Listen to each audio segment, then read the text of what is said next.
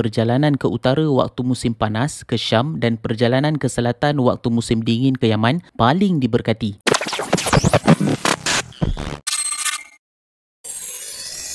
Assalamualaikum warahmatullahi taala wabarakatuh. Pada video yang lepas kita dah cerita tentang bagaimana Abraha telah cuba menghancurkan Kaabah. Dalam video itu ada juga diceritakan rentetan peristiwa sebelum berlakunya kisah tentera bergajah serang Kaabah. Bagi anda ingin tahu kisah ini, boleh klik pada link video di atas. Baiklah, pada video kali ini kita akan sambung kisah bagaimana kaum Quraisy menjadi pedagang yang terkenal di Jazirah Arab. Seperti yang telah kita sebutkan pada video yang lalu, orang Arab Yaman merupakan pedagang yang sangat terkenal pada era kerajaan Himyar dan Sabak. Tetapi setelah dua kerajaan ini tumbang dan telah dijajah oleh Empayar Rom Habsyi dan Parsi, maka pusat perdagangan di sekitar Yaman ini telah diambil alih oleh kuasa asing ketika itu.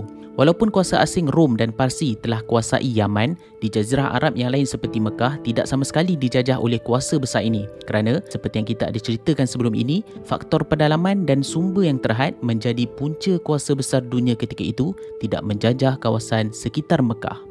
Sebenarnya ada lagi beberapa faktor yang menolong Mekah aman dari gangguan kuasa besar terutamanya dalam perniagaan. Antaranya adalah perpindahan orang Yaman ke Mekah. Seperti yang diceritakan sebelum ini, orang Yaman ni terkenal dengan ilmu perniagaan yang sangat hebat. Apabila mereka pindah ke Mekah, maka ketika itu Mekah terus maju kerana ramai pedagang Yaman datang untuk berniaga di Mekah. Pedagang Yaman ini bukan sekadar datang untuk berniaga sahaja, tapi bila kaum Quraisy menjaga kebajikan setiap orang yang datang ke Mekah, menyebab menyebabkan sekitar Jazirah Arab rasa selesa untuk datang dan tinggal duduk menetap di Mekah. Selain itu juga kedudukan Mekah yang sangat strategik di tengah-tengah tanah Arab antara utara dan selatan menguatkan lagi faktor Mekah menjadi pusat perdagangan popular. Faktor permukaan bumi Mekah yang tandus dan kekurangan sumber juga menjadi punca utama kenapa rakyat di Mekah suka berdagang ke luar kawasan. Kerana mereka memerlukan sumber lain untuk dibawa ke Mekah ketika itu. Inilah dia faktor yang menyebabkan Mekah menjadi terkenal sebagai pusat perdagangan era itu. Baiklah, antara barangan yang didagangkan adalah seperti minyak wangi, kemenyan, kain sutera, barang logam, kulit, senjata dan rempah ratus. Barangan dagang ini hasil daripada pedagang yang datang dari Yaman, kota pelabuhan di Asia, Sumatera dan Tiongkok. Orang Arab Quraisy ini berdagang ke seluruh jazirah Arab Utara, Selatan, Timur dan Barat.